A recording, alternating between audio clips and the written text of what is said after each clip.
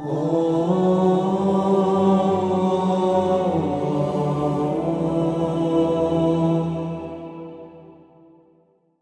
الله الرحمن الرحيم واذ يرفع إبراهيم القواعد من البيت واسماعيل ربنا تقبل منا انك انت السميع العليم واذكر يا رسول الله ذلك الزمان الذي كان يرفع إبراهيم القواعد من البيت يعني الكعبة.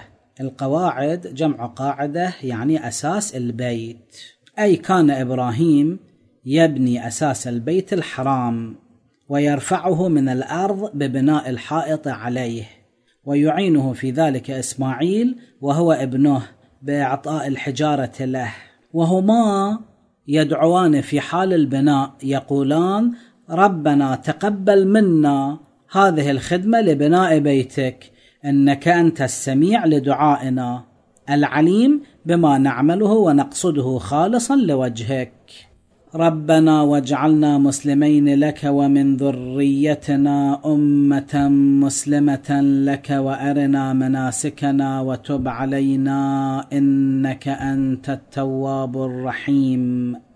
وكان من دعائهما أيضا حين بناء البيت هذا الدعاء ربنا واجعلنا مسلمين لك.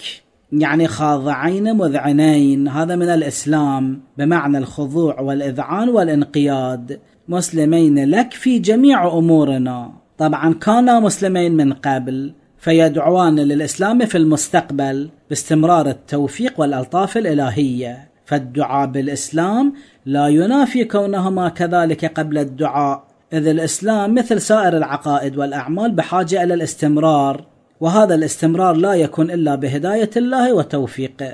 فكما أن الابتداء لا يكون إلا بعونه سبحانه كذلك الاستمرار. هذا مثل إهدنا الصراط المستقيم حيث نتلو هذه الآية في كل صلواتنا يوميا بمعنى استمرار الهداية في المستقبل. ويستمر إبراهيم وإسماعيل في الدعاء ومن ذريتنا أمة مسلمة لك. يا رب اجعل من ذريتنا وأولادنا أمة مسلمة لك. الإسلام هو تسليم الأمور إلى الله سبحانه وتعالى في الاعتقاد والقول والعمل. وأرنا مناسكنا يعني عرفنا وعلمنا كيف نفعل ونتعبد لك في مراسيم الحج. المناسك جمع منسك. أي أماكن العبادة مثل عرفات والمشعر ومنى المواضع التي تتعلق النسك بها. النسك والنسك يعني العبادة والطاعة وكل ما يتقرب به إلى الله تبارك وتعالى. يقال رجل ناسك أي عابد وقد استجاب الله تبارك وتعالى دعاءهما حيث أراهما جبرائيل عليه السلام موضع الصلاة والوقوف وغيرها من أماكن العبادة في الحج. وتب علينا.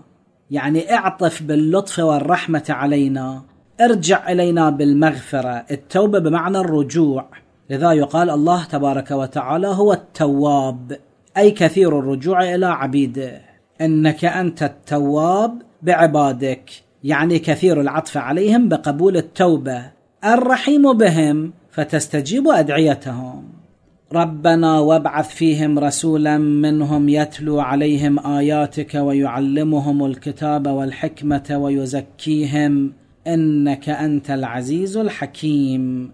ويستمران في الدعاء قائلين ربنا وابعث يعني أرسل فيهم يعني في ذريتنا أو في الأمة المسلمة التي طلباها من الله تبارك وتعالى. أرسل فيهم رسولا منهم يعني من نفس هذه الأمة أو هذه الذرية لا من أمة أخرى حتى يكون لهم الشرف بكون الرسول منهم. وقد استجاب الله تبارك وتعالى هذا الدعاء وبعث محمدا صلى الله عليه وآله من ذرية إسماعيل. يتلو عليهم آياتك يقرأ عليهم الدلائل والبراهين الدالة على الله تبارك وتعالى. وهكذا يتلو عليهم أحكام الله ويعلمهم الكتاب يعني القرآن الكريم والحكمة يعني التشريعات والآداب وغيرهما. الحكمة بمعنى وضع كل شيء موضعه. فمعنى الآية أن الرسول يعلمهم الكتاب والحكمة. يعلمهم العلوم الكونية والتشريعية فيضعون كل شيء موضعه فأن الجاهل لا يتمكن من وضع الأشياء مواضعها لجهله بها ويزكيهم يعني يطهرهم من الأدناس والقذارات الأخلاقية والعملية وذلك بقلع جذور المفاسد الاجتماعية والرذائل الأخلاقية. إنك أنت العزيز الحكيم. فالله تبارك وتعالى هو القادر على استجابة الدعاء. العزيز حقيقة هو الله. العزه لا تكون إلا بقلة الوجود وكثرة الاحتياج. والله هو العزيز حقيقة فإنه واحد لا شريك له والكل محتاج إليه. فهو القادر بشكل مطلق على تلبية الطلبات دون غيره وهو الحكيم. فيستجيب الدعاء بحكمة وأفعاله نابعة عن حكمة. وما طلبه النبي إبراهيم وإسماعيل إنما كان عين الحكمة. لذا استجاب الله تبارك وتعالى دعاءهما. وصلى الله على محمد وآله الطاهرين.